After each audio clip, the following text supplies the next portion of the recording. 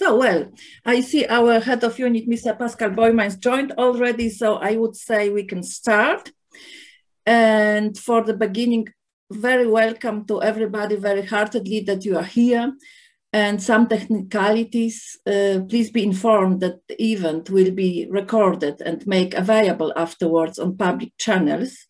So your participation means your consent to that. Therefore, if you don't agree, you would have to disconnect. However, I hope that that will not be the case.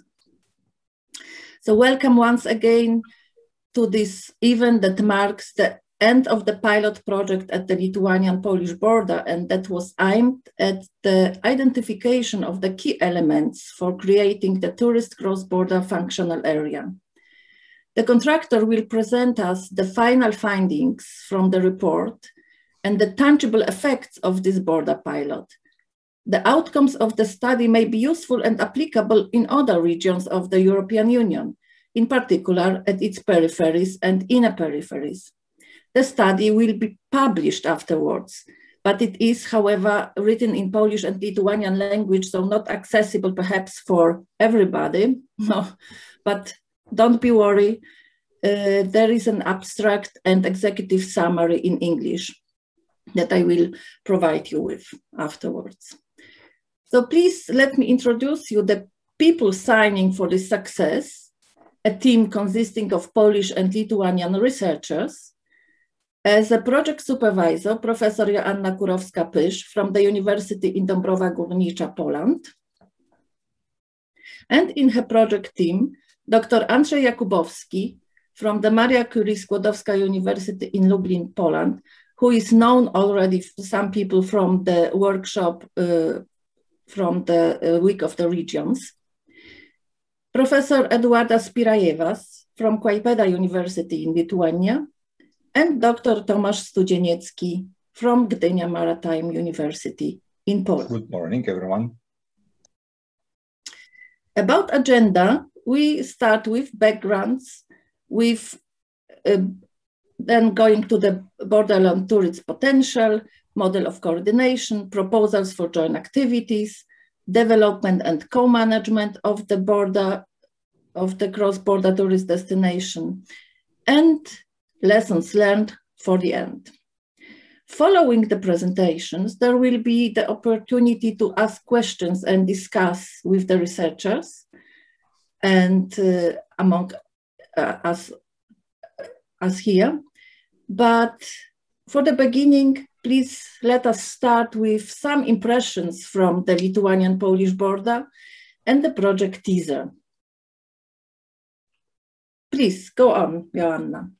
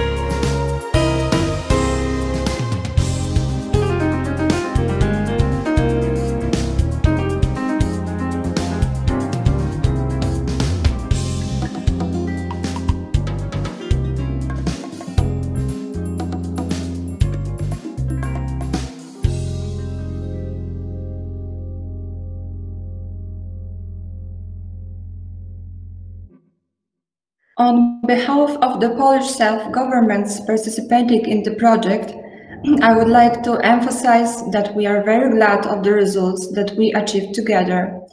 The key project result is signing by all the partners the agreement on creation of the tourist cross-border functional area called Jadwiga, the land of Jadwigs. It will start the new cooperation stage between partners and other stakeholders from both sides of the border. It is something very innovative and promising for us. We are sure that the project findings allow, allow us to strengthen the cooperation on the Polish-Lithuanian borderland.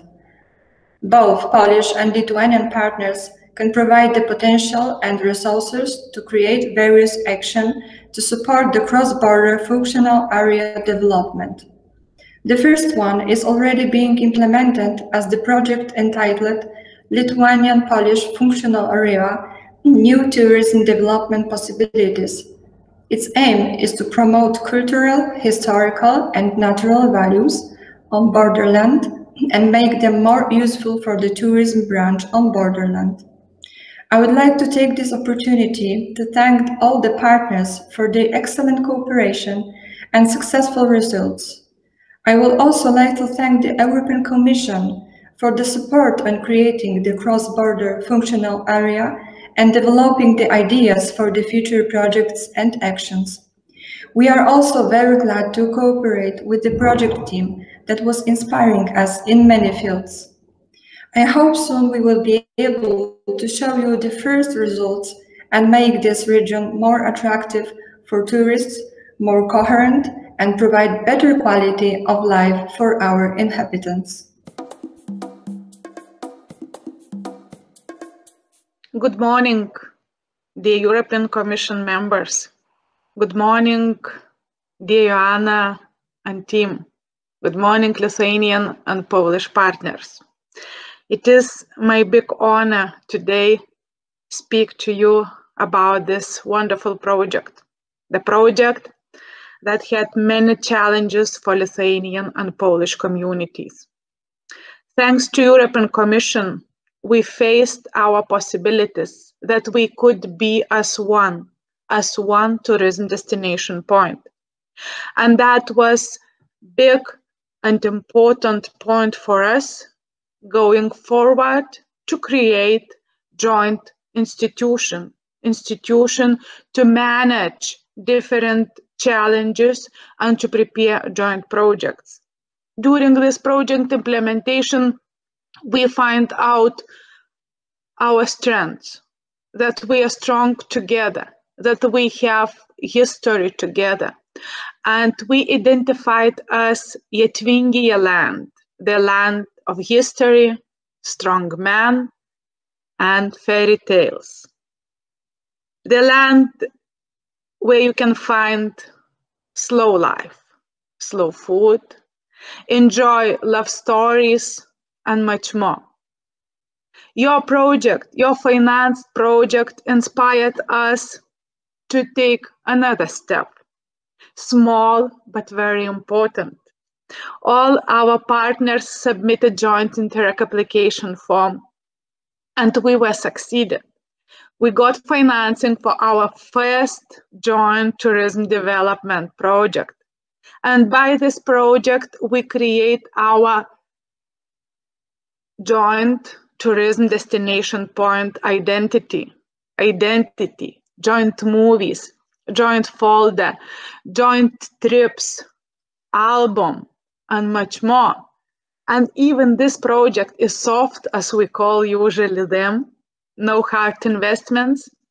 But it's the most important for us because it is first time inspired actually by you. Thank you, Joanna, to be so strong and unified for main goal, for being seen as cross-border community, as a strong tourism destination point, as new challenge, as new tourism provider services to make believe our businessmen, our craftsmen, our amateurs, so we can be as one.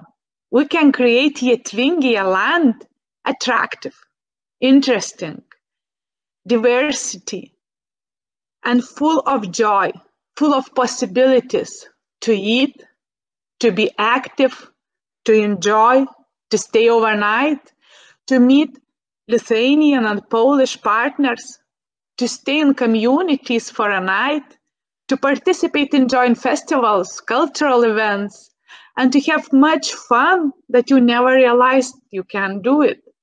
So this project is a key project for us, for Lithuanian Polish municipalities. And on, and on behalf of all Lithuanian mayors and Polish mayors, we are very grateful to show us the way how we can be unified, how we can identify joint projects together with businessmen, together with institutions, with NGOs, with private persons having, for example, Jotvingiai museums, and to unify this for main joint purpose, to be known, to be visible, to be strong as one. We are not divided by cross-border, we are unified by it, and we are strong together. And now we have another challenge to open joint institution, to establish joint institution, so we can start bigger joint works. We can search for more possibilities, for more financial mechanisms and instruments to develop our joint border by infrastructural projects, by soft projects, by unifying NGOs, amateurs, and businessmen. So what you've done for us, it will be talked from generation to generation. You are beginning, and we are very grateful for it and very thankful. So thank you so much, dear Joanna and your team. Thank you for believing in us. Thank you for showing us the possibility for giving us opportunity to discuss on concrete projects, to ident identify the ideas, how to develop, how to implement them, and to preparing for us already structure, how we shall act further steps. Thank you so much. Thank you, European Commission, for believing. Thank you, and we hope that we will that you will not regret, and we will make miracles, and one day we will meet all together in Jotvingiai land. Have a nice day.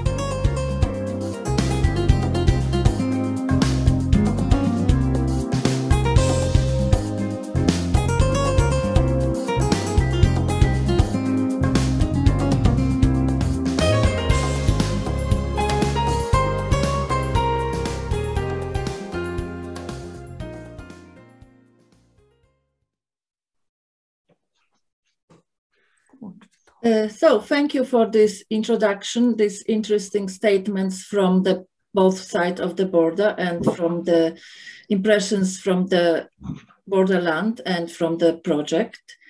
And now, please, uh, I would invite Ms.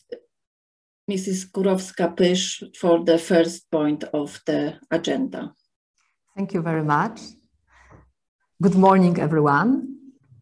At the beginning of my presentation, I would like to underline that development of touristic functional area on this borderland was a bottom-up initiative of the Polish and Lithuanian self-government. In March 2018, they signed the intent letter to start together designing the cross-border functional area focused on tourism development and based on networking. It was something very innovative for them because so far the cross-border cooperation was developed on the Lithuanian-Polish borderline mainly bilateral. Another important step was the cross-border research showing the borderlands potentials and problems. And conclusions from that research were used in further analysis leading to the tourism cross-border functional area establishment. In 2019, Polish and Lithuanian partners met again to take further steps to create functional area the partners initiated the conference held in June 2019 under the patronage of Interreg program. And the conference chairman, the conference chairman uh, were Mr. Marek Prawda, head of the EC representation in Poland, and Mr. Arnoldas Pranckevičius, head of EC representation in Lithuania.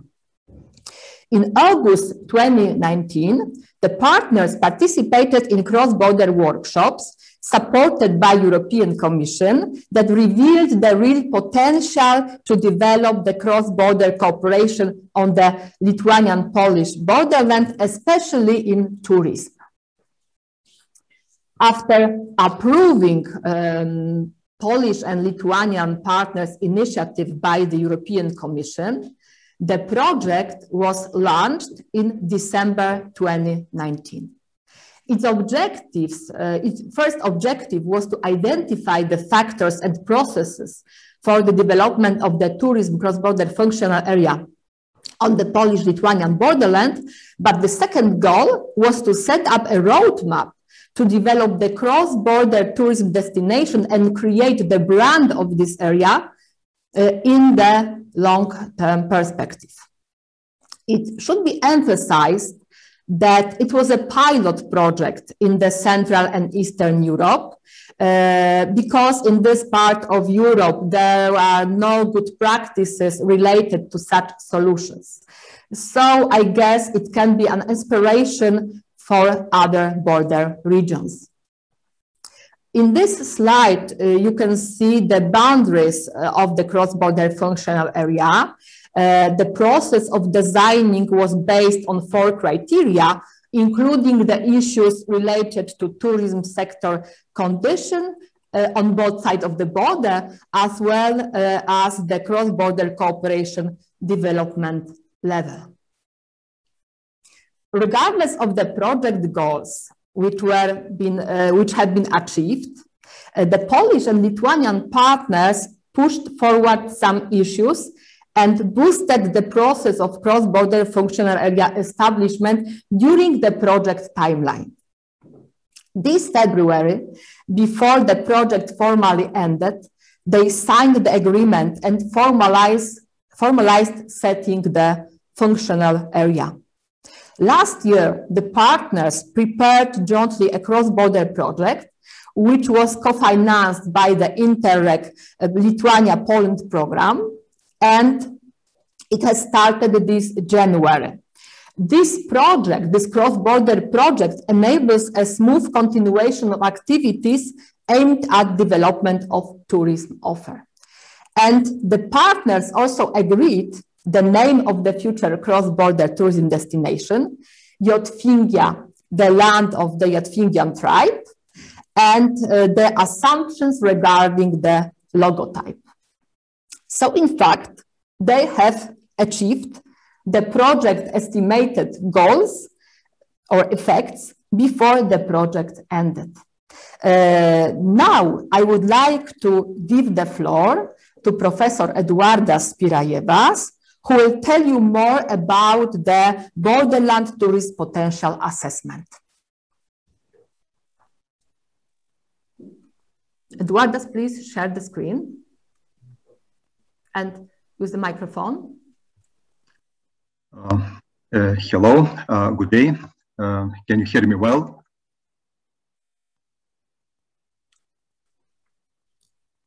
Yes, we can hear yes, you. we can, but we are muted, so. Okay. So you can hear me well, yes? So thank you very much. I just I just uh, shared with you my screen and also would like uh, to continue uh, presentation. Uh, first of all, why this potential of uh, tourism development at uh, Lithuanian Polish borderland is so important. Of course, uh, first of all, we can think about uh, different um, backgrounds of development, about the geographical location of this area of uh, this region. Uh, this territory also used to be very much important for both nations, for Lithuania, for Poland, and also for the whole Europe. In the previous times, in the former Soviet times, it was the border of Iron Curtain. And then later, when Lithuania regained independence, became the border be between the two countries. And today, uh, today the border also is uh, within Schengen. And uh, also concerning about this topicality and uh, the importance of this border area is always, always will be a lot of discussions from the both sides of the both countries. And uh, also, in addition, uh, after regaining of independence of Lithuania, this borderland became gateway to the Europe for Lithuanians, Latvians, Estonians as a land corridor. And also, we can consider that this borderland also is one of the narrowest land corridor within European Union space. But uh, for some reasons, uh, local communities and uh, local inhabitants, yes, and also neighboring regions, they have used to be to have some negative image of the borderland, which was dominated due to long procedures on border crossings. But now the situation has changed more to the positive way. And also mental barrier of the border also is decaying, uh, disappearing. And now we see that borderland is becoming open for both nations and also for the whole uh, Europe. And besides, it's also one of the most uh, sparsely populated areas in the European Union. And uh, here you can see also representation of a couple maps, uh, a map of Poland, neighboring country of Lithuania, and also maps of Lithuania. Uh, there is also a very big and very big significant reflection of Lithuania's history and culture, which also stretches to the Polish part, and also reflection of Polish history and culture, which stretches to Lithuanian part.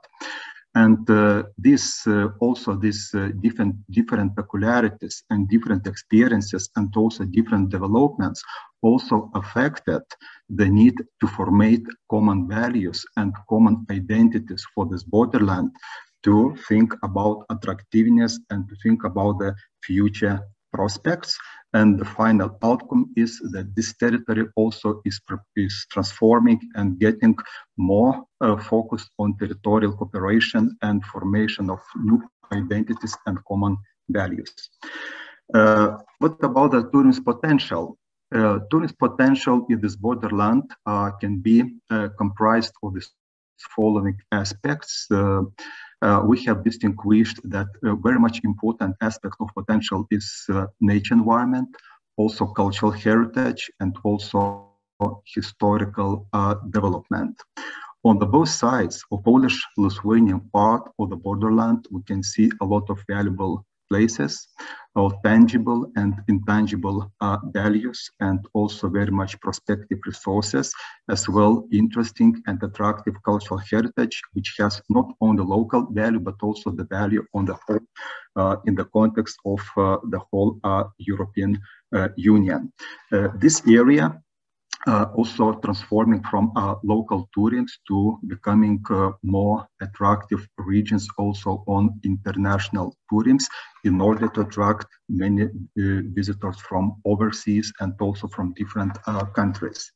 When we try, excuse me, when we try to uh, detect um, different aspects and also different conditions uh, for development, also we can see that nature and environment they plays very much important issues. National parks and also the lakes of region and also the histories of the noble persons and also uh, very much important identity, the uh, identity of the former Baltic tribes of Jotvingians, which also representing the heritage in the Celtic Baltic tribes in this area between Poland, uh, Lithuania, also including parts of uh, Belarus, because uh, this borderland uh, recognized as a former core area of Jotvingians. And uh, continuing, we also can see that uh, when we try to analyze um, different landscapes from Polish part Polish part has a very high potential in nature tourism development, also in ecotourism development, and also in representation of very much and also important heritage cultural heritage, which is also very significant also on European uh, context. Uh, when we uh, also examine the situation from the Lithuania part, we can see the station part also is more or less uh, similar, but also it is possible to uh, detect some disparities. And uh, we considered that uh, tourism infrastructure and uh, present station concerning to tourism potential is more uh, applicated for development than the Polish part. Uh, because two countries, two different approaches used to be and different strategies. But uh, the point is that in this uh, unique places, a borderland also must be uh, supported cross-border cooperation issues in order to create common products, uh, common roots, and think about common values and think about the common future of this area. And both communities of the or both sides of the border, they just can simply enrich each other and supplement in these uh, developments. And uh, in fact, uh, is uh, recognized as one of the most uh, important factor, which can also facilitate uh, spatial interaction in functionalities of this cross-border functional area. And reflections of cultural heritage of both nation and also uh, common nature values and also pictures, landscapes, and also the identity of former Baltic tribe of Yachvingians. These all of them uh, plays a very much important role also in further development of different touristical products and their continuation uh, in the future. Uh, and finally, uh, I also would like to distinguish a couple uh, concepts uh, which were also elaborated by the group of researchers and uh, as a magical borderland, as second one as the mysterious land of the Yachvingian tribe, and also green retreats, low tourism and healthy lifestyle, but also common heritage. And the concept as mysterious land of the Yachvingian tribe uh, supposed to be as the core concept, but uh, in particular, this concept also is closely related to all these three concepts and uh, they are also all of them representing the potential for future uh, developments.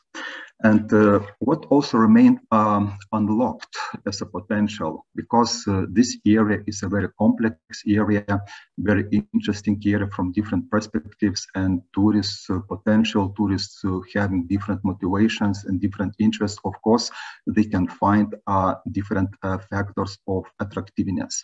We also determined there still remains not fully unlocked ethnographical potential for future prospects, architectural and linguistics, religious heritage of historical memory.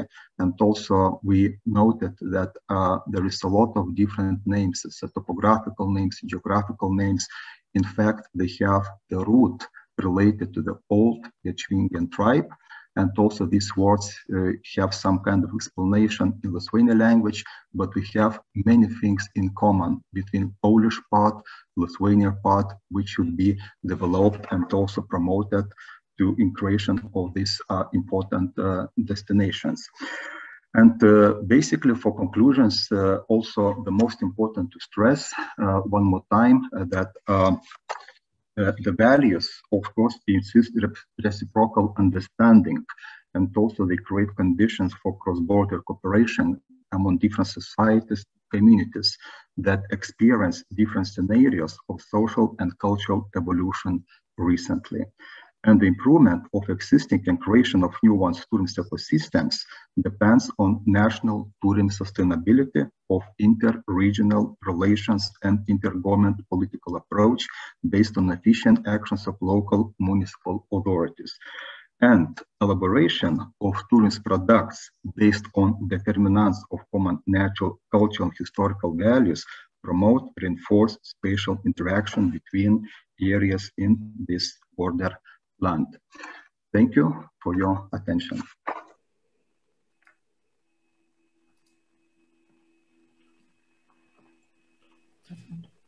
Mm, thank you very much. Uh, uh, my name is Andrzej Jakubowski, and in my contribution, I'm going to present you the model of coordination of cross-border cooperation under the tourist cross-border functional area. and Currently, the cooperation uh, within the Lithuanian Polish borderland partners is uh, hampered by many factors, and the most important is the incompatibility of institutional solutions in Poland and Lithuania. It's also the insufficient administrative capacity, and uh, currently the cooperation here is uh, uh, maintained mainly, not only, but maintained mainly by the local government units, and there is a need to involve more stakeholders and more entities as well as local communities. So in our model, we tried to uh, propose some solutions that would allow to address these problems and guarantee successful cooperation on the Lithuanian and Polish borderline. So our aim was to uh, uh, develop the structure that would be flexible, that would be less uh, bureaucratic, and that would allow for the efficient and effective implementation of the goals and tasks that are perceived for the cross-border functional area. We also aim to take into account the uh, existing differences between the Polish and Lithuanian administrative structures and the systems and the scope of competences of uh, local government bodies. And as you may see, uh, we here uh, have five main bodies that are perceived to, um, uh, to uh, consist for this model. This one is the board, the second, the Presidium, Secretariats, cross-border task forces, and cross-border working groups.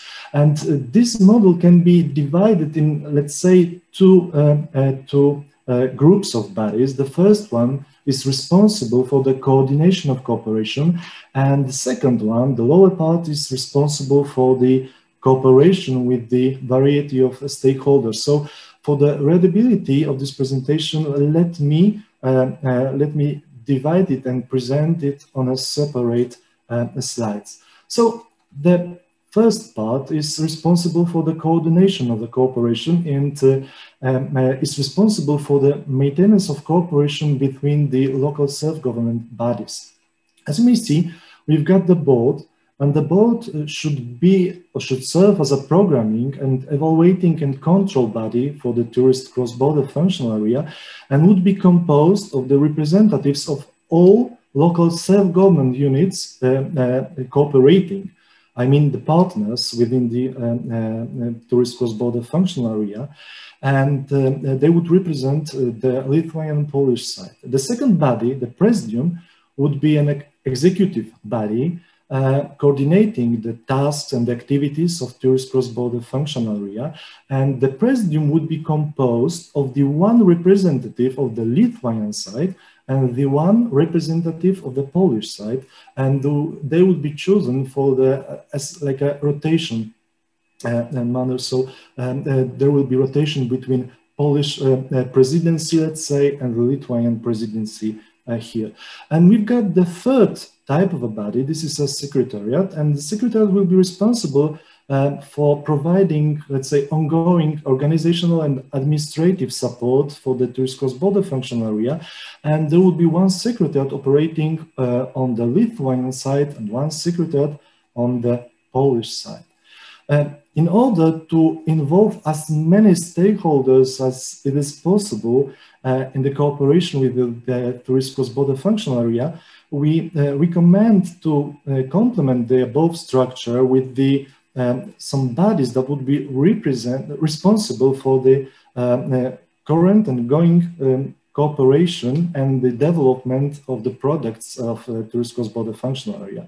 And we've got here two bodies, uh, two types of bodies. Uh, the first one would be cross-border task forces and uh, we propose to designate two cross-border task forces. The one would be responsible for the integrated tourist offer and the, uh, um, for the working out the proposals for joint actions, for joint projects. And the second one, cross-border task force for tourist information promotion, would be responsible for the territorial marketing of the area and for the development of a common cross-border tourist informations system, let's say in cooperation with the entities that are usually responsible for tourist information and promotion on both uh, sides. And the second type of a body is a working group. And uh, these working groups should work within the cross-border task force for integrated tourist offer. Uh, working groups should be responsible for, uh, let's say, carrying out the specific tasks, and they would be uh, uh, they would be um, they would be mm, or appointed, let's say, by the board, and they would be responsible for the special task. And now we mm, propose to establish four working groups. each would be responsible for the one concept of tourism development within the tourist cross-border function area. And we believe that the proposed model uh, of coordination of cooperation under the tourist cross-border functional area provides good conditions for the development of cross-border cooperation and the networking between the partners and integrating the different types of partners uh, and stakeholders. Also, it uh, uh, makes it possible to activate uh, the partners that now are not um, uh, fully engaged in the development of tourist product of the border area. We also believe that this coordination structure um, ensures the maintenance of coordination and monitoring of the implementation of projects that are planned for joint implementation. And it's also tailored for the needs, for the possibilities, for the, uh, for the uh, uh, existing situation and, uh, um, and, let, us say local conditions. And this model was accepted by the partners and became the part of a founding document, let's say, uh, formalizing the cooperation on Lithuanian-Polish borderland. So uh, the model uh, is legalized, let's say, by the agreement on creation of um, um, cross-border functional area Jatvinga the land of the Jatvingian tribe. Um, it is, of course, very important to have uh, appropriate uh, financial resources to implement the joint projects and to run uh, the cross-border functional area as a, um, uh, as a way cooperation to cooperate between departments from both sides. And uh, we think that it's important to engage the different types of sources um, uh, like European sources uh, under the European Regional Development Fund, within the European Territorial Cooperation Programs, within the European funds under the programs at the national and regional level, also the funds from the state budgets of both countries, uh, Poland and Lithuania. And the most important, the funds from the budgets of local self-government units that would be uh, very important in terms of ongoing cooperation under the tourist cross-border functional area and also for securing the contribution to cross-border project co-financed from the external funds and uh, securing funds for implementation of projects that will be um, financed from own resources and co-financed from regional and national uh, projects. We also believe that the most important role here is, uh, or maybe uh, improving role of a private capital. Uh, I mean the financial resources of a private entrepreneurs that would uh, uh, like to develop their own businesses in the field of tourism and related industries in the uh, Polish-Lithuanian borderland. So um, the activities of the partners should aim to the broadest possible engagement and involvement of a private capital here for the development of a, a commercial tourist product. So uh, how to implement this model? What are the next steps that should be uh, done? Uh, we believe that the partners now uh, are ready to develop more detailed organiza organizational solutions by adopting the regulation. So we've got the model as a, some kind of a framework for cooperation, but the more detailed solutions should be developed by the partners.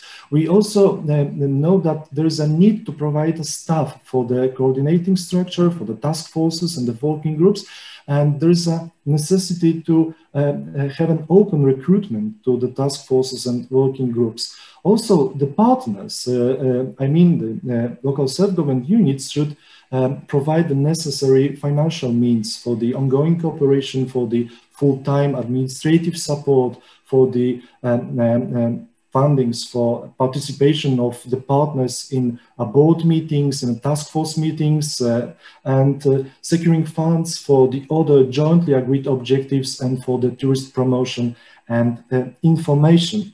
Also, uh, uh, the very important thing is to, uh, to make some, to motivate the partners to for the greater involvement in cooperation and to uh, have an open intake for the uh, endeavors and projects that would be uh, developed on the area and that would be uh, appropriate for the designed directions of cooperation and the tourist offer of the Lithuanian Polish area. So uh, uh, this was my input and now uh, this will be followed by the presentation of uh, uh, Professor Kurowska-Pysz. So Joanna, the floor is yours. Thank you very much for attention.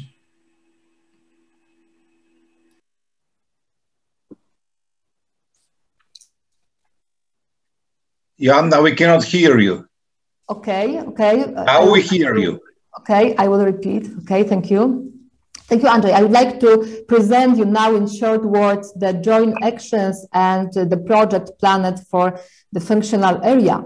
But I would like to mention at the beginning that the, the tourism cross-border functional area can be considered in two perspectives. So the Short-time perspective requires the planning of the cross-border activities, providing the development of cross-border tourism offer. And the long-term perspective requires the planning of the cross-border tourism destination and the brand creation. And this topic will be presented in a moment by my colleague Tomasz Studzieniecki. And right now I will focus uh, on a short-time perspective. So I would like to, uh, to tell you that the Polish and Lithuanian partners planned uh, together three uh, actions, joint actions, covering the functional area on both sides of the border. And they are focused on cross-border tourist information system development, uh, improvement of the qualifications of the entities responsible for tourism offers, and strengthening the agrotourist businesses on both sides of the border. So these activities will be realized uh, within the whole area. Uh, the partners also planned almost 50 individual and cross-border projects, and some of them you can see in this slide. The projects are focused on the tourism offer development according to the four uh, tourism concepts that uh, which were presented previously. They aim, uh, they aim both to enhance the existing tourist products and to create new ones. Uh, there are various projects providing the diversity of the borderland tourism offer, and at the same time, most of them will be developed in cross-border partnerships. We strongly recommended the Polish and Lithuanian partners to coordinate continuously the process of preparation and implementation of joint actions and projects. As you know, first joint actions started, started in January, as I said previously. We have also paid their attention to harmonizing spatial development plans to eliminate barriers to cross-border mobility of tourists and uh, residents. We encourage them also to give information about the functional area establishment to entities responsible uh, for the Interreg Lithuania-Poland program and to the unit dealing with the development policy and uh, European operational programs. Uh, as the partners provided the fluent coordination of the cross-border cooperation within the area and they specified the plans on what they should uh, do to boost the tourism offer, the next step ought to be thinking about the future cross-border tourism destination. And now I would like to give the floor to my colleague, Dr. Tomasz Studzieniecki, who will tell you more about this. Thank you. Hello, everyone. Can you can you see me and can you hear me? Good. Uh, ladies and gentlemen, let me say a few things about tourism market. Tourism market is very, very demanding. And in order to be successful, we decided to create a destination. What is a destination? Destination is some, something very secret, mysterious, but this means success. Destination is a place visited by tourists. So if we think about cross-border functional area, we think about destination. We have to create destination. There are a lot of destinations in the world, so our destination must be very unique. That's why we, we decided to make the research and we found the key markets. We decided that we would like to invite tourists, especially from Eastern Europe, Northern Europe, Western Europe, and Southern Europe. And how to do this? Creating a destination is a long process. And it's very, very important to remember that there are several, di several dimensions, several levels. There's special levels, so we have to make a delimitation. There's marketing aspect. It means we have to prepare tourist products. There is institutional aspect. So it means that we have to prepare the organization. And there's also psychological aspect. People must have some impressions. That's why we found some elements that are very, very unique and that will make our, our destination very interesting. The destination management process is a long process it starts with building the awareness of the destination. And at the very, very end, it means that we have to support development. We have prepared the project. We have to, we have prepared the concept, but a lot of things have, have been done. We have achieved a, a lot of success, but still there are some elements that have to be done. What is so important? In my opinion, it's very important to develop a strategy for developing the brand we have only started this process. So we know what are our strengths, we know what are our assets, but then we have, have to prepare the whole brand branding strategy. And this is our challenge. And in order to prepare the brand strategy, we have seen those four interesting concepts. We have this mysterious land of Jotvingians. We, we see that, that, that, that, that we have this green, green retreat concept we see that we have common heritage and we have the magical borderland. By the way, this is the three point between Poland, Lithuania, and Russia, and it's also one of the attractions. But we have the four concepts, but between four concepts, we decided that we will have one dominating concept. And of course, this is the mysterious land of Jotvingan tribe. But also three concepts are also, also very interesting because together then they create one vision of our destination. So we decided that the accent will be Jotvingan tribe, Jotvingan heritage. Why, why was it that? I was personally involved in promoting an interesting European destination called Viking destination. And I think that there are some very interesting similarities. Both, both are transnational.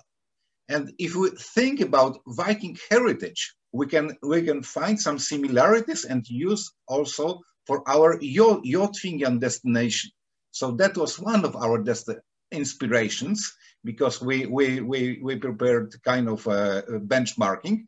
And our idea was that destination Jotvinga will be something very unique, will be something very attractive, and it will uh, make this de destination interesting for our, our tourists. So that was our idea to use this this Jotvingan Jotvingan heritage, and then then what else should should be done? We we need some we need some some some some some recognition. We have we have to be we have to be seen. How to do this? There are some interesting instruments. One of the instruments is European Destination Excellence uh, Reward called EDEN, and this is one of our challenge to apply for, for this recognized reward. Also, in the Baltic Sea region, there is the initiative called Baltic Sea Tourism Center. They also created the re reward called Sustainable Destination. So this will be the next challenge. But what we are thinking also about, the Council of Europe is su supporting interesting initiatives called European Cultural Routes. There are, there are a lot of cultural routes, but so far there is no cultural route uh, based on, uh, on heritage. So one of the challenge was to prepare the documentation of Jotvingan cultural route and ask European culture to recognize. And in order to do this, we have to use our national tourism organization, I mean Lithuanian tourism organization and Polish tourism organization. Those are our challenges. And what are our recommendations? First recommendation is that we have to reserve our, our brand. We have, have to, we have to, uh, uh, uh, we have, have to uh, make this officially registered. And another, another, another very, very, very important recommendation is ensuring the consistency of the organization and promotion of this our destination. I mean, at this moment, this is a cross-border functional area, but if we do all those recommendations, we will have cross-border destination called Jotvingia. Thank you very much for your attention. Thank you, Tomasz. And now, summarizing the presentations, I would like to present the lessons learned in short words. The functional area uh, development is a multi-stage process. Uh, while the area is focused on tourism development, it's necessary to analyze deeply the tourism potential at the beginning of the process. Uh, this is key point to put forward to the next activities. If we plan the functional area focused on other branches, we should also analyze their potential first. It's crucial to recognize problems and needs of all key stakeholders, not only public institutions, not only self-governments, but also companies, NGOs, and local communities on both sides of the border. One should point out the factors influencing the development of tourism on the borderland. And after that, it will be the right moment to design the functional and area boundaries to clarify also which stakeholders are included within the functional area. It is necessary to start discussion concerning the model of coordination, the cooperation, and the short-term as well as long-term initiatives provided the functional area development. So as you can see, designing the functional area boundaries uh, is the, the fourth step. It's not at the end. To make the process successful, we need four key factors. First uh, important factor is the evidence that the area tourism potential is sufficient. Uh, to evaluate this, we have to use various research methods and we have to involve all key stakeholders in this process on the both sides of the border. That's why we used in our research many quanti quantitative and qualitative methods. The next factor is a proven dynamics of cross-border cooperation, aiming uh, at putting forward the process of functional area creation. The last one is choosing the appropriate assessment criteria that allow to point out the functional area boundaries, providing achieving the stakeholders' goals. Thank you for your attention.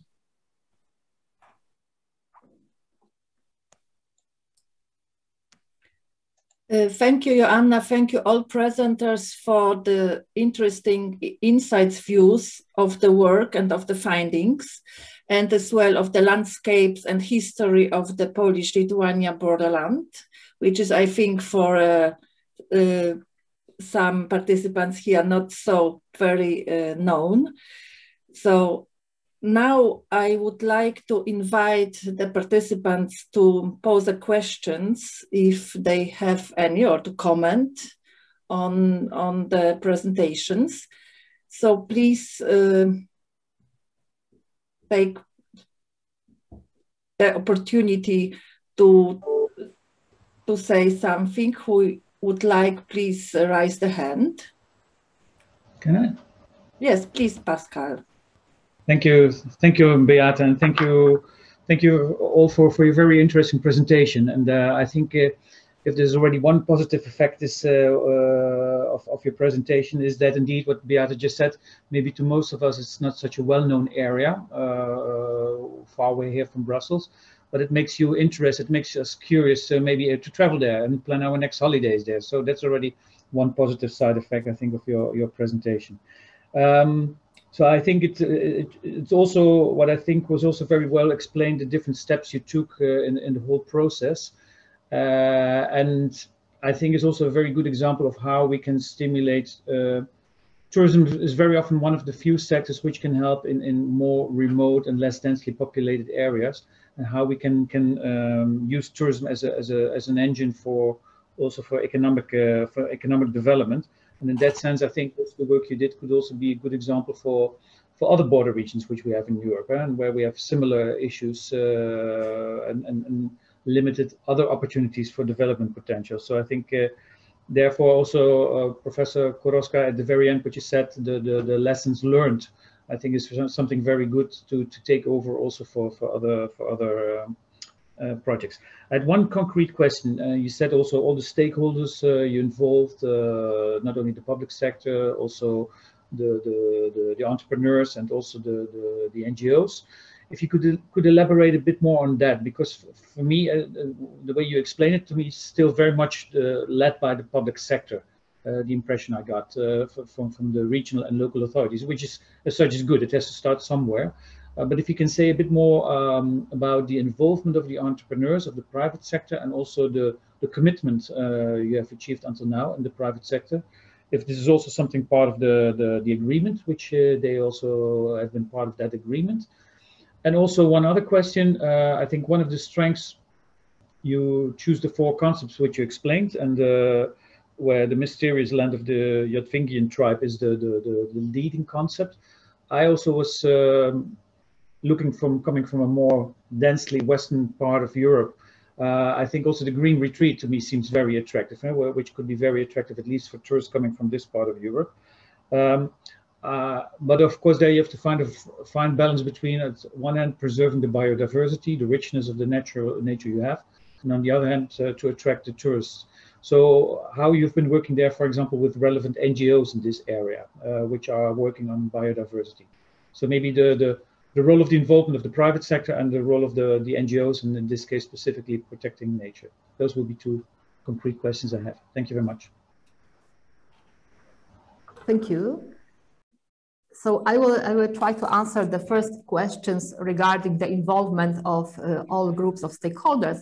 And I would like to, uh, to add something um, uh, about the Yotvingians, but, but I think that uh, my colleagues will also uh, add something from their side. Um, I would like to say that from early beginning, we were uh, very, um, very much focused on involvement, not only self-government, not only public institutions, but um, also companies and NGOs. Why? Because the tourism branch, this is a commercial branch. So, so most of uh, tourism products uh, have to be developed by um, companies and by uh, NGOs in some way. Of course, uh, self-government involvement is necessary because someone has to uh, uh, develop the strategy for the region, in this case for, for um, borderlands. But without involvement companies and uh, self-government uh, and uh, NGOs, as well as local communities, this uh, initiative will be very, very, will be very, very narrow. And uh, I uh, realized that when I explained the, the businessmen and the, the um, NGOs representatives, what is their interest in this project, they uh, were uh, very interested in and they were very active. They supported us not only during workshops, uh, during the, the meetings and interviews or research works, but they also submitted their um, proposals for the future projects. They are some individual projects, but they are also a, pro cross-border project. So uh, they um, agreed together. I mean for example two companies from two, uh, two uh, from um, polish and lithuanian side that they would like to develop together the agrotourism offer and this is something very positive because generally um, many people think that cross-border cooperation is mainly related to Interreg programs. And as you know, this kind of entities is not eligible there. So at the beginning, when they realized that they can be supported from Interreg, they had some doubts whether it's for them or not, but we uh, showed them their interests. We showed them the possibilities and the opportunities to develop their businesses thanks to the cross-border cooperation. And for most of them, probably it was the first, first opportunity to discuss their problems with the colleagues from the, um, from the, the borderland uh, not only from Poland, for example, but also neighbors from Lithuania. So this is very positive and also it's visible when we review the list of projects, we see there are many projects um, uh, submitted by NGOs and by uh, companies. And regarding the, the Yachthings as a, a potential uh, brand for the future um, tourism destination, I would like to, to, to answer uh, Tomasz Studzieniecki and Eduarda Spiriajevas because that was their job to evaluate it deeply. Thank you. Who first, Eduardo? uh, you can start, Tomasz. Yes. Uh, yeah. Yeah. Okay. Um. Well, I would like I would like to start with with with my uh, uh, um, vision of uh, the double interpretation of the area.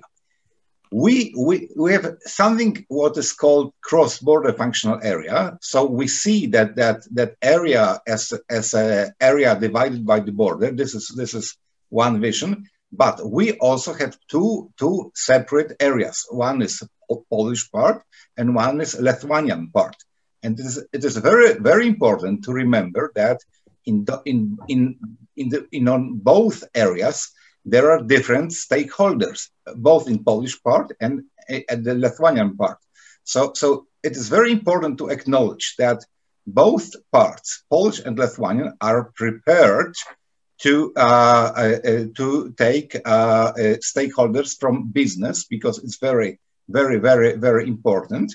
I mean that in, in Poland, we have several legal instruments like local tourist organizations and, and we have local, local uh, action groups. So I think that it's very important to use also those national instruments Uh, uh, uh, at the same, same time to create something cross-border because this cross-border structure is very, very, very soft at this moment.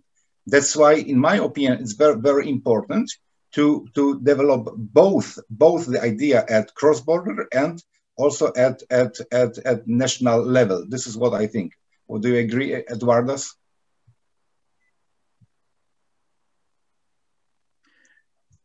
Yes, uh, thank you for uh, giving time. Uh, in my opinion, uh, uh, it's uh, also very much important to cooperate on tourism development issues, in particular in this borderland. Uh, from Lithuanian perspective, Lithuania for many years already has set up priority of tourism development in many regions, in many territories, and also in different border areas between Lithuania uh, Latvia, uh, Lithuania, Belarus, Lithuania, Kaliningrad region of Russia, and also this borderland. Uh, as Thomas said, this structure is created, and the most important is facilitate and promote interaction and cooperation between different stakeholders and also entrepreneurs in order to provide uh, common products. Uh, from different discussions, uh, which were organized uh, also last year, uh, the entrepreneurs, local businessmen from Lithuania part, they expressed opinion. They would like a promotion in creation of infrastructure if infrastructure will be like some basic things has been done, then they can uh, provide a lot of interesting touristical products, but also this infrastructure vision must be agreed also on a political level between two countries and also on municipal level. Uh, stakeholders, entrepreneurs, local ones, they have a lot of initiatives they have a lot of potential to provide and to uh, make uh, insert insertion to this area. But first of all, they would like to see uh, created and confirmed uh, model of interaction and uh, of uh, cooperation. Thank you. And if I may add something to the questions regarding the private capital and the private firms, um, we may see the uh, tourist destination as the area that is uh, uh, characterized by the competition. So the partners and the uh, private entrepreneurs, they uh, compete between themselves for the tourists, but also they should cooperate and they know that they should cooperate for the greater visibility of the area, which is peripheral, which is uh, remote, as we know. so the private capital is uh, interested in cooperation and this, uh, uh, let's say, knows that the cooperation and the development tourist cross-border area serves them, serves the development of the potential of the area and will benefit with the, with the more tourists there. But uh, for sure, the, our structure is led by uh, public sector and we see this role for the public sector as a leader of cooperation, but uh, uh, we also see that many stakeholders is interested already in the participation in the um, uh, cooperation within the task forces and working groups. Thank you. Thank you as well. And uh, perhaps uh, coming back to the second part of the question from Mr. Boijmans about the question of environment, biodiversity, and Green Deal in the as in the uh, view of destination development and touristic destination development. How would you see this topic? Tomasz, could you answer, please? Yes, yes. Um, I, I, think as uh, sustainable tourism and sustainable development is concerned, and also the sustainable transition, which is uh, very, very, very important. Uh, we we have we have done we have done the the the the, the, the analysis if our destination is sustainable and taking, taking the EU recommendations of sustainable tourism development, we think that, that we have the big opportunity to create a sustainable tourism development that that includes not only not only net natural heritage not only cultural heritage but what is really very very important this structure that we are preparing also includes local community uh, involvement. This is very, very important. And uh, if Bata, if you agree, maybe I will join your question with the question about uh, there is an interesting question. Question: um, Do you feel the need to set set up structure like EGTC? Is it possible to to to combine two two, two questions? Uh, I would even I wanted even to uh, uh, recommend this. So thank you very much for coming back to this. Yeah, yeah, yeah. Okay, so so so uh, uh, please imagine our our situation. We we had to achieve the goal, and the goal was to prepare and create cross-border functional area. We were analyzing a lot of a lot of uh, options, a lot of possibilities.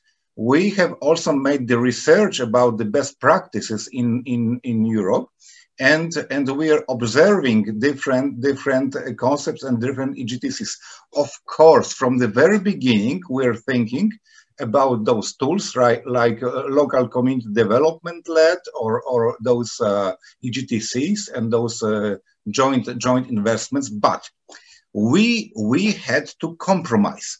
Of course, EGTC is the best potential solution that we can imagine, but what what there, there are both strengths and weaknesses. The strength is that this is a very the most uh, the most serious the most most formalized structure. It, it, it gives a lot of potential but the problem is that it is very very very formal. And for us the priority was was to make uh, this initiative live. The priority was, was to prepare such a structure that will work at, at the moment and and uh, and we realize that in future, of course, it, it, it, it may be managed by EGTC, but but uh, but it must be the decision of the stakeholders because it requires a lot of time a, a lot, lot of energy and a lot of determination so our our proposal is uh, at, at, the, at this moment, this soft structure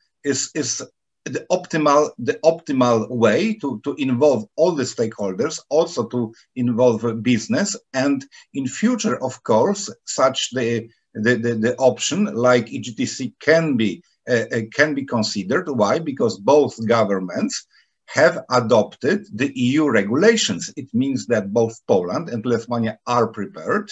And if, if the both sides agree, uh, if, if, if, they have such a will, of course, it will be it will be a good solution for future. This is my opinion. Thank you. Thank you as well. As we are now uh, talking about the uh, model and the funding. I would have here a question coming from Anna from Anna Modzelewska from our unit, who was as well involved in this project from the beginning. Thank you for this. And she wanted to know whether, uh, given the need for the external funding, does it make sense to undertake project initiatives in the functional area defined uh, in the study based on local actors? And would it not be more beneficial to try to find promoters at the regional level? Perhaps, Anna, you wanted to add something to, to this question? So thank you very much uh, to the team for a very interesting presentation and uh, developing the four uh, concepts on the tourism uh, in the in this uh, borderline. Well, I the question is really based on my practical experience because you prepared a study which is very comprehensive and which provides with a very clear uh, ways of continuing it in uh, and uh, making it operational. So uh, now will be where we are, where we can find the financing for those uh, initiatives and uh, knowing the rather complicated system in Poland and perhaps less complicated system in Lithuania where there is no regional dimension and the macro regional dimension. But in case of Poland, when we talk about the EU funding, we know that there is a number of programs and not often the small uh, beneficiaries, the, the, applicants without the support from the higher level, they will not be able to uh, prepare high quality applications and to receive the funding so much needed uh, for implementation of these um, components. At, at the end, uh, there will be uh, not really like a systemic dimension of uh, of all of these uh, elements. So I'm wondering because of course we we started this project. It was very much a bottom up initiative, but uh, in terms of implementation and looking for the financing, uh, don't you think that it would be more practical to to have a higher level uh, positioning uh, of the of the project promoters and supporters? Okay, Anna, thank you for this question. I would like to, to answer. Well, I think that this um, cross-border functional area is a tailor-made solution for the small communities and the, the um, success of such initiative uh, is strongly related to uh, the possibility to involve um, co companies and NGOs, not only self-government. And they find their chance to prepare something uh, together, especially according to their needs. And um, it was uh, something unique. Whether, whether we, we tried to, to uh, put this initiative on the regional level at the beginning, I think it would be much more general. And in this way, uh, the, um, the stakeholders uh, would be probably much less identified with this initiative and uh, we would not uh, receive so many interesting projects. Of course, they are aware that they will need uh, variable funds to uh, support their uh, initiatives, but there will be different um, paths for uh, companies, for self-governments, and for and for for um, NGOs, for example. And this is just the beginning, yes. We, we uh, growed with them very fast, yes. The area was established uh, before the project ended. So now it's the right moment to, to discuss uh, within the partners, Polish and Lithuanian partners, what should be the next step. They started the first joint projects. They started to cooperate on a daily basis. And for sure, they will uh, look for uh, different uh, sources of funds to support their initiatives because even uh, last day I uh, last days I received from them the questions regarding the report and the the further steps. So they still count on us and they, they, they uh, expect that Polish and Lithuanian self-governments involved in the area will support them with uh, further activities. As I said, for companies, for most of NGOs involved in the project, this, this was the first opportunity to start something cross-border, to start something together. And of course, the funds and uh, regional promoters are necessary for them, uh, probably, but they, they wanted to, to create something tailor-made, especially for them. So I guess that um, prepared this this uh, um, this model of cooperation and put it on the local level was much more efficient than put it on the regional level at the beginning. Mm -hmm. May I something? Yes, I would. I would like to say that uh, the development of the destination requires the synergy of both national and and interreg. I mean ETC funds, but we have to remember that our cross-border functional area consists of units that that are uh, that that are uh, in a in a not such a good economic and social situation as their neighbors. Those areas are less developed.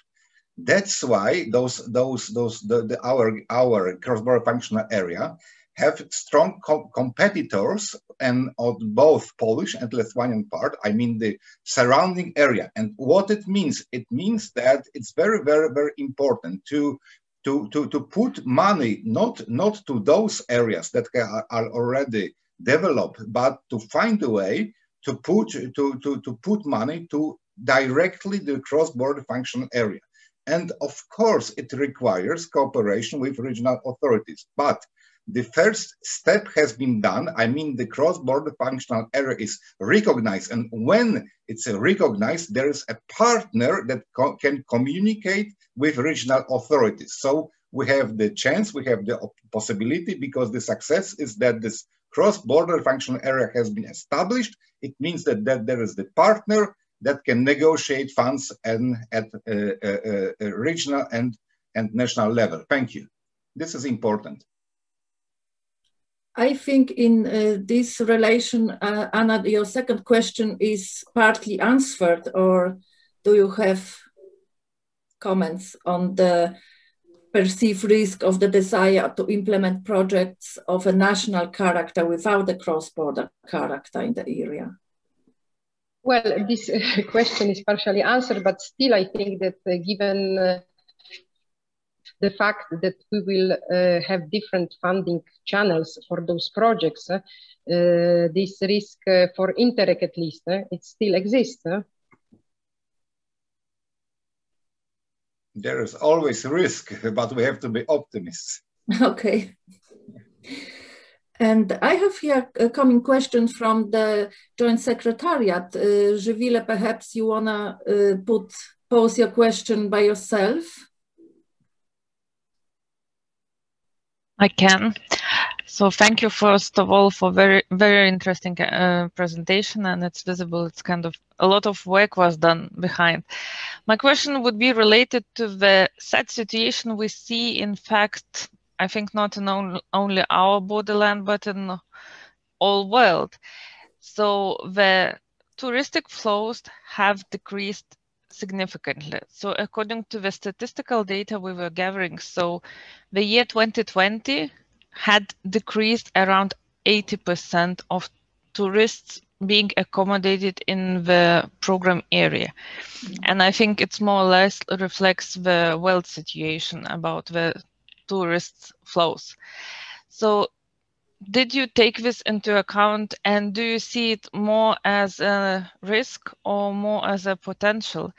Because most probably the it might happen that the tourists first of all will start traveling somewhere very close, not not to very far countries, but maybe trying first of all to to travel somewhere to the neighboring country. However, currently this is simply impossible because you are not able to cross the border.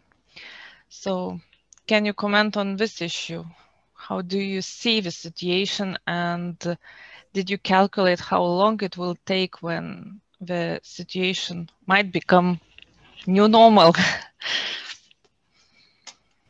okay, thank you for the, the question. At the beginning, I would like to mention that uh, when I conducted the uh, tourism, um, tourism demand analysis last year, I interviewed many people, visited uh, the both parts of borderlands because uh, in uh, July and August, um, at the beginning, it was possible to cross the border also. And people were very happy that they spend their vacations, their holidays exactly there. Uh, because uh, the low density and peripheral uh, character of the, the area was something very positive for them at that moment. And people who uh, run uh, tourist businesses uh, on both sides of the border, they, they were rather glad of tourism demand there. But of course, it was uh, summer last year. Uh, when we gathered the projects uh, for the um, functional area development in the future. Uh, the businesses and NGOs, especially NGOs, they were really afraid uh, whether it will be possible to develop these projects uh, very soon because of pandemic situation. Uh, I think that we are uh, we have to be patient uh, for a moment uh, because we, we need to, to, clarify the situation with pandemic. But um, this is only my opinion. I would like to, to ask also my colleagues to, to, uh, to answer this question from their point of view. Mm-hmm. I may, uh, no, uh, nowadays, many tourist destinations are facing the problem, maybe not nowadays, but in recent years, they are facing the problem of over tourism. And we believe that, that after the COVID-19 pandemic, there will be uh, a chance for remote places like this, for a great green retreat, that the people will look for a place that would um, uh, be remoted, would be not so densely populated, and uh, that would not face the problem of overtourism. So we believe that there's a future uh, uh, uh um, for places like this and the tourist destination like this. Remember that we developed the tourist cross-border functional area in a long term and for many years, not for, um, for, for the current situation or the 2021. Um, uh, but we believe that the uh, pandemic will change the tourist behavior and this will be uh, a benefit for the, um, for the borders like this or cross-border areas like this. Thank you. I would like to add uh, something very, very important that this pandemic situation has caused the situation that the, the, the theoretical weakness of the cross-border functional area, I mean theoretical, which is less developed infrastructure, can become our, our strength because in other areas surrounding this, our destination, there are big hotels, big, big, big holiday centers, and this is very, very dangerous at this moment. And people, as, as my colleague said, are looking for more more, more green, more, more sustainable, more ecological area. And this is our, our opportunity to use this potential, use, use, use, use this, these aspects and to promote as a sustainable destination. So, so my, my idea, my concept is promoting as sustainable, sustainable green destination, health, healthy destination. And I think that this is our uh, uh, challenge that we can achieve. Thank you. Uh, and also I'd like to provide some comments uh, also from uh, Lithuania part about uh, this uh, impact of pandemic situation. Yes, uh, pandemic situation affected many environments, many ecosystems. And last year I spent a lot of time in this cross-border area in uh, Lazdijai, Vilkaviškis. And I also noticed that the trend of visitors also was quite active active. I mean, yes, for instance, according to statistical data, uh, it was a significant decrease uh, in accommodation establishments, very significant decrease. But uh, when we try to compare data from national parks, from um, visitor centers, and uh, also we mentioned that there is also a significant increase of one-day visitors. And what does it mean? Basically, uh, this interesting phenomena uh, uh, talking from Lithuania perspective happened in many different regions. Also here, that pandemic situation and also these restrictions, due to these restrictions, people, they just cancel the trips going abroad, but locals, they started to pay more interest towards national tourism and towards uh, examination of um, uh, different locations which are within the country. And uh, what it gave that, for instance, the businessmen uh, who provide the services of catering, uh, they didn't have uh, so many complaints uh, about the touristical season in July and August. And most of them, they consider that this was uh, one of the most successful touristical season financially. And also concerning about the Syria, while this pandemic situation exists right now, uh, yes, of course, it's difficult to predict the future, but it will be finished anyway. But now it's a good time to think about the creation of infrastructure to make these basic things that will be also developed more diversified uh, touristical uh, products. And pandemic situation basically just stimulated local tourism development more in positive way. But of course, international tourism suffered uh, quite a lot. And businessmen also, they uh, foresee that this season also must be quite successful financial for different peripheral areas in tourism industries, especially for uh, one-day visitors, which is also increasing interest towards awareness to make, make more interest about interest to country and traveling. Thank you.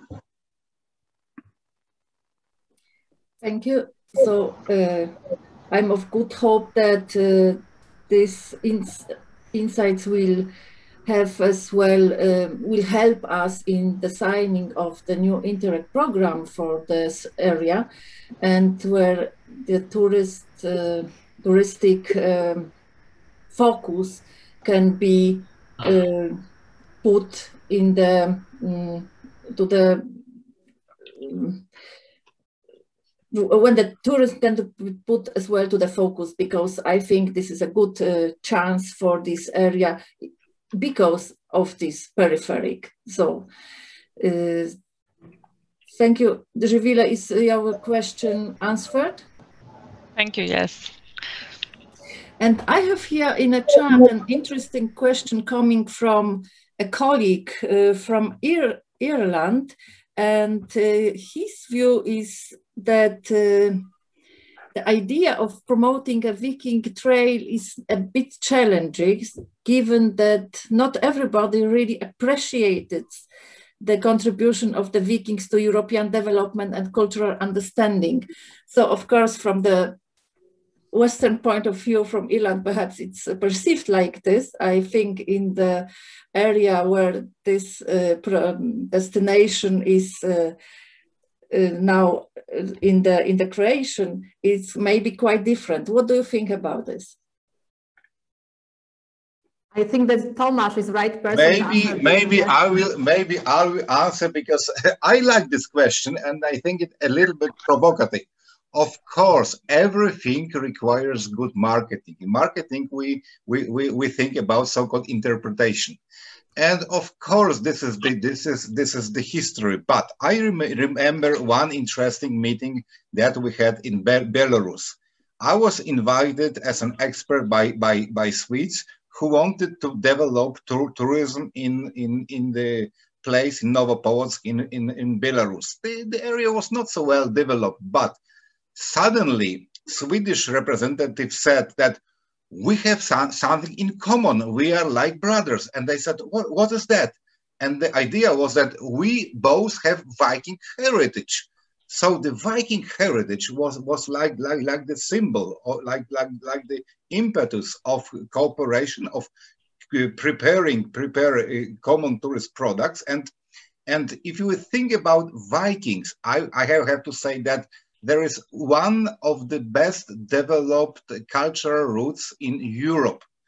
uh, I can re recommend the publication called Follow Vikings, and it shows how, how this Viking heritage can be converted into very attractive tourist products, into, into souvenirs, because it's something secret, something missing, and, and of course, the situation with, with Jotvingas is uh, very, very, very, very similar. That, of course, there were misunderstandings, that, that there were wars, but, but as we could as we could promote uh, uh, Viking heritage in the same way, I am. I think that that Jotvingan heritage can be promoted because it's some, something very, very, very interesting, something very secret, something something very very very mystic and it gives uh, uh, people opportunity to go to the historical times to to to to to to to to, to think to, to have impressions because there are many many many many many events at this moment and that's why i wouldn't worry that some some people uh, see black part of the Viking heritage because I think that domination is this this this power and the potential and and that's why uh, I I respect it and I, I like the question but I I wouldn't worry about this. Thank you.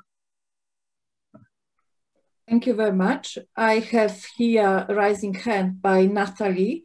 He, she wants to uh, comment and to pose some questions and as uh, expert in Interreg and cross-border and as well in Lithuanian questions, I'm very happy to, to give you the voice.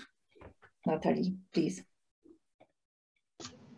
Thank you very much, Beata. Thank you, and thank you very, very much to the team uh, for uh, an excellent presentation, intriguing, uh, with intriguing aspects. Um, Indeed, I'm, I'm, I'm, probably one of the few people uh, in the unit who has actually been in that area. And uh, I, I, spent a few years of my life in Vilnius and we were, uh, whenever there was a chance, always delighted to uh, drive down uh, south to the to the Polish um, to the Polish border. So um, I'm so so pleased that you have found a an identity um, for the cross-border area. I think it's it's it's wonderful that you have okay, I, I, I can take um, Noel's question on the Viking heritage, and I think it's a fair question. But at the same time, Jotvingia will really create some curiosity, and, and it is your, it has to be your brand basically. And I, I was also pleased to see that you you decided that this is the top brand, and that the rest of the common features um, are subsets of that really, because slow food or, or, or good nature, these are things that, that, that exist in many, many places um, in Europe and in many, many border areas. But the heritage of the Jotvinkas is, is specific to, to that region. So I think it's really the, it has to be the cornerstone on, on which, um, on which the, the future is built. Um, I also wanted to say that uh, I, think this is an organic process that you have started and that there will be a lot of developments. And, and as Tomasz said, this is a long-term, also Joanna, I think, this is a long-term process that you have set in motion. Um, and there will be organic developments. There will be uh, difficult moments, bright moments. There will be new partners coming in. There will be partners leaving. This is this is this is life. I think it's uh, it's it's normal situation. I would, however, really wish that the the structure that you have proposed is really considered as a temporary uh, build that should maybe lead to something a little bit more integrated. Um, I, I find it's my personal uh, uh, reflection really that the structure is is a little bit heavy i thought. Um, and and also i'm i'm afraid of having two uh, parallel pillars. If if nothing is done more jointly uh, for instance with an egtc I, it was my very first question. Egtc came to my mind immediately like like ricardo. Uh, if you left if you let two pillars develop side by side um, a little bit too long, a little bit too much, I think it becomes then difficult to rejoin. So I was, I was, I have doubts about the structure. I would maybe want to know a little bit more about how how you see that in the medium term uh, and the long term. And I would really encourage the partners. So it's it's not necessarily for you uh, who have done the study, but the partners who will pick up the study and move it uh, to to consider a, a, a real joint cross-border uh, legal structure. Thomas, you said that it was a little bit formal. I don't really agree with that. I think it's a legal structure that allows you to then have access to a number of um, uh, tools uh, or, or, or, finances uh, in, in, an, in an easier manner. And you can have, you know, the formal structure, the legal structure, but underneath that you can have as many uh, lively participatory uh, working groups as you want. But I think the legal structure makes makes the EGTC very, very interesting, also for accessing funding on both sides uh, and EU funding in particular. So that, that was my first point. My second point is is, is also to Živile and and to and to the um, the cross border program um, on you know you are invited to this you have been aware of this for a long time you have been i think partly associated to the work uh, what what is uh, what is your intention there as as a program uh, since you are currently drafting um, the text of your next um, generation of Interreg CBC program there uh, how will you incorporate all of this? What what is your vision on on that? That was my my second question, and then my third question was, I haven't heard much quantification. I mean, I haven't heard much about um, potential revenues from tourism, potential numbers that could be attracted. Uh, have we quantified needs? I know that the needs can be endless, of course, uh, but have we quantified, let's say, needs in the next 10 years and then needs in the next 20 years or or is that going to be also very organic in a way but congratulations and i'm i'm looking forward to uh, my next visit to yatvinga egtc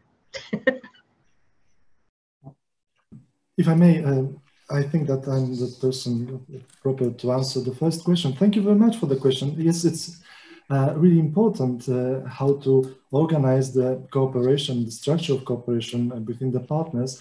And I must admit that I also presented the, uh, the underlying conditions that we faced and, and we tried to uh, present and prepare solution that would be best adopted and tailored to the local needs. And we are basing on the ideas also uh, arising from the local needs. And uh, we must remember that this was a bottom-up initiative and we uh, uh, only were like uh, guiding the partners in this area. So these models reflects the needs and the expectations of the partners, let's say. Uh, of course, we also propose the idea of creation of GTC, eGTC, and we believe that this is the best and the most appropriate solution, but in a long-term perspective or longer perspective.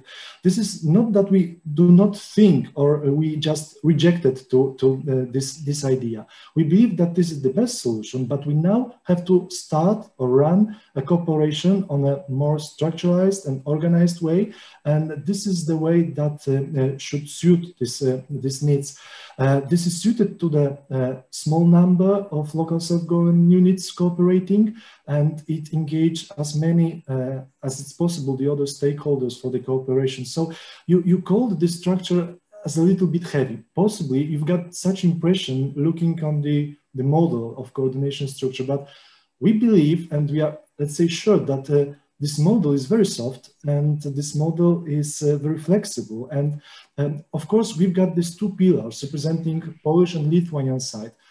That's for now. That's for um, current situation. And this is something that should lead to rejoining or joining these, uh, these partners. But now uh, there's too many barriers, let's say, to do so at this moment. We believe that this will be possible in five or uh, and in a little bit more years, or maybe in three years, but, but uh, this is not a, uh, this will depend how the cooperation would uh, be developed. So our task was to run the cooperation on a more structuralized way. And uh, uh, there is a, yes, on the other hand, uh, these two pillars are, um, let's say, um, they represent only two Uh, members of the presidium and two secretariats. In fact, it's uh, because of the different administrative systems and different legal systems. And uh, in current situation, it should help to cooperate more effectively uh, uh, and now, for now, for the current needs, for the current situation, this model should should enable to implement common projects and develop common projects and develop the structure, common structure of tourist information and promotion um, system. So uh, yes, this is a long-term process uh, and the cooperation model that we present you is the first step to organize cooperation in a more structuralized way, but this is just a step towards the future organizational models and, uh, uh, and systems. And we believe that eGTC is a good uh, solution. So, so this is not that we reject this, this idea. Yes, and I would like to add something that I am one of the promoters of eGTCs because I have written a book about eGTCs. So, so, so, so in my country, uh, uh, I realized that this is a very good uh, idea. And I think that if the stakeholders uh, make a decision and, I, and, and agree, I will be one of the first uh, persons who will support them to create eGTC. Thank you. But it must be the, the initiative of stakeholders, not, not our experts. Thank you. And also I'd like to provide a comment about uh, quantification of uh, tourist potential as it was also one of, I think, comment number three. Uh, basically, uh, we uh, also made the research and also we uh, accomplished a lot of detections, also in qualitative aspects and also in quantitative aspects. Uh, there is a lot of also statistical data, which is under the permanent monitoring and collection by tourism information centers. And in particular, on Lithuanian part, uh, a network of tourism information centers is very well developed and also has a very uh, lengthy tradition. And every year they are making uh, these uh, reports and also providing these uh, data indicators, which are also have public accession. From Polish part, this system is not in that very intensive development, but concerning about financial indicators and also economic information, the companies, enterprises, they are obliged, obliged according to the law to give financial reports to uh, also taxation office and also to Department of Statistics. And uh, in official sources of statistics in Lithuania, uh, it's possible to find these uh, quantifiables and also these indicators. And thinking about the future, uh, future in future stages development for the future prospects, of course, uh, this first initiative was to make the neighbors closer and in particular also to support uh, cooperation and also cohesion between neighboring societies on the both sides of the border. Uh, stage number two, uh, looking to the perspective to attract Lithuanians from different regions to pay more interest in visiting this region and also from Polish part. Also, I have some uh, reports, uh, announcements from Poland that also they increasing this awareness in visiting this borderland. And stage number three in the future, that will be also region uh, will be presented on international tourist market will be for many tourists from overseas as a, a destination. So basically it's a stage uh, based uh, development. Thank you.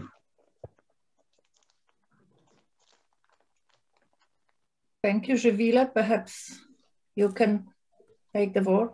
Uh, yes, regarding uh, pro program and its uh, activities in, in in this functional area. So first of all, I wanted to say that the beneficiaries, like these actors from the region, are very active. They already have submitted the project for the current programming period, um, while when they realized, especially that with cross-border cooperation, the soft activities, they they are the ones which can be financed from our program.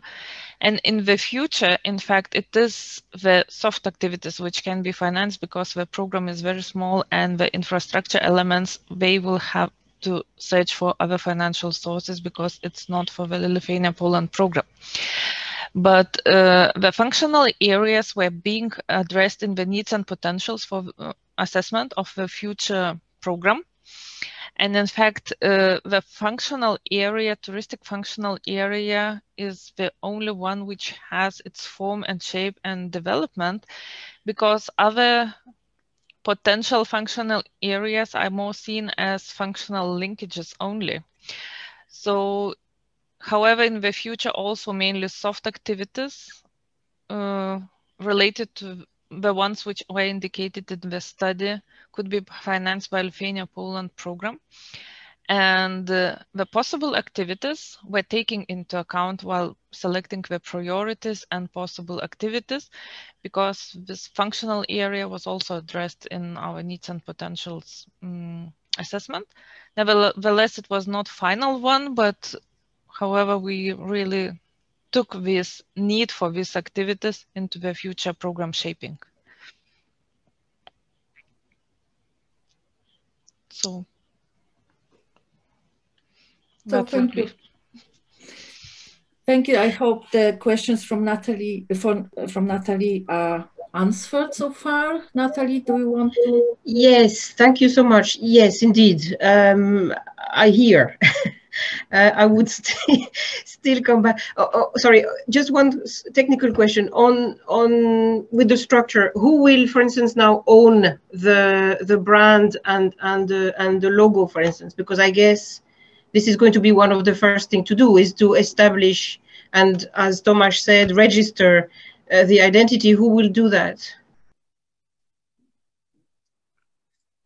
This is a very good question. So I would say if we created the EGTC, it would be very simple because it will, would be the EGTC, but but this is so important and I am very, very glad to, to hear that question. The thing is that it is so important at, at this moment. There, there is there's new young initiative and it's so important that that the energy of, of the stakeholders should should should should be used in order to, to create projects uh, visions. And at the very very beginning i can un understand that it, it it would be a little bit uh, uh difficult to um uh, uh, to, to to to involve people especially from from from local governments with uh, limited knowledge with with, with, with limited experience it would be difficult to, to, to ask them to create the EGTC. That's why, as Dr. Jakubowski said, it's a perfect solution, but somehow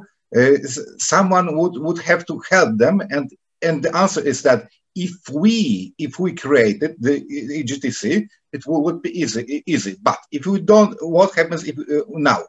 The thing is that that I would compare the, the situation to Euro regions. It's very, very, very simple. Like in Euro regions, the stakeholders uh, uh, nominate uh, one one stakeholder. It, it may be it may be one of the it may be one of the local units who act on behalf of our stakeholders. So it means that it must be the legal person that will be shown by the stakeholders.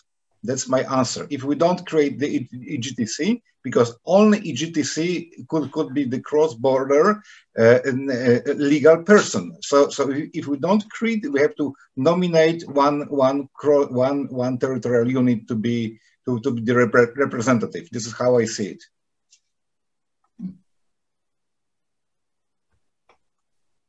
I think this is uh, difficult uh, to, to answer now. And uh, Beata can I? And decide, uh, because this is the partner's decision, yes? We designed this, this model of coordination exactly to their needs and exactly to their uh, potential. So they uh, accepted this structure uh, at this moment as a as a uh, interesting uh, for them at this moment, and for sure they will discuss the the future activities. And we also included the recommendation that they should focus on such organizational issues uh, after uh, the, the functional area establishment. And for sure, they will discuss these issues uh, soon because they contacted us also to, to give them the logos and uh, other uh, things designed during the project. So for sure, they are thinking about these issues right now. Thank you. As we are uh, coming to the end, but I would invite Živile to answer as well, uh, or to take position to this question, and then Mr. Jakubowski, and then we will see how to come to the end. Thank you. So I wanted to just tell that the current project, which is ongoing, it's uh, uh, about this issue. So this branding issue, uh, the municipalities, which are stakeholders of this functional area, they have some legal agreement, and now they are trying to implement this branding. And I think it's one of the things where they will find the solutions how they will own it. Currently, they, as far as I can comment, so they there are legal uh, agreements between all municipalities. So they all signed an agreement that they are doing the region branding together, and this ownership it's kind of according to these legal agreements for now. But this branding is still not created yet. They are on on the actions to be to create them in the nearest future. Mm -hmm. Mr. Jakubowski, please. Thank you very much. Responding these uh, questions of uh, responsibilities, let's say, uh, I would like to uh, underline once again that this model has not been imposed on the partners, but was developed with them. And uh, uh, regarding the crucial issues, as the the personal the responsibility for such legal issues like a brand and so on. Uh, we designated in this model two members of the presidium and they are let's say presidents uh, from both sides and they are some kind of a leaders of cooperation because any cooperation needs a leader and in this situation we've got some leaders from polish and lithuanian part and these leaders were decided or chosen by the partners uh, uh of course uh, there are some provisions made in our recommendations and it will be also stated in the uh, regulations of the cooperation but uh, we've got such a leader from uh, Lithuanian part and this is the self-government of Łoździeje, and from Polish part also uh, we've got some leaders, uh, leader let's say, that would be responsible for undertaking such activities uh, also on behalf of the other partners. So um, this issue uh, is already, let's say, discussed between the partners. Thank you. So, thank you very much for this answers and for this discussion and for this event and for all the findings. And as I see, we could uh, do something tangible on the border. And I hope that it will be taken forward. It is already partly, as we said, with this ongoing Interreg project. And uh, I'm here as well very happy about this, that uh, Interreg is really a lively uh, instrument to help on the borders and there on the border especially as well. And if we uh, succeed in this practical uh, organization of the functional area, touristic functional area, so I would be uh, very proud about uh, everything we've done. Thank you, team. Thank you, Professor Kurowska-Pysz. Thank you to your team. And thank you to all participants in be, with being with us. The presentations will be provided as well as uh, um, recording of this uh, event. And in case, of course, as well the report. And should you have any questions, please do not hesitate to contact me or uh, our team and we can discuss further about the model if you need to have more information for your borders. Thank you very much to everybody. Thank you. And have a nice day. Thank you, Beata, for coordinating all this.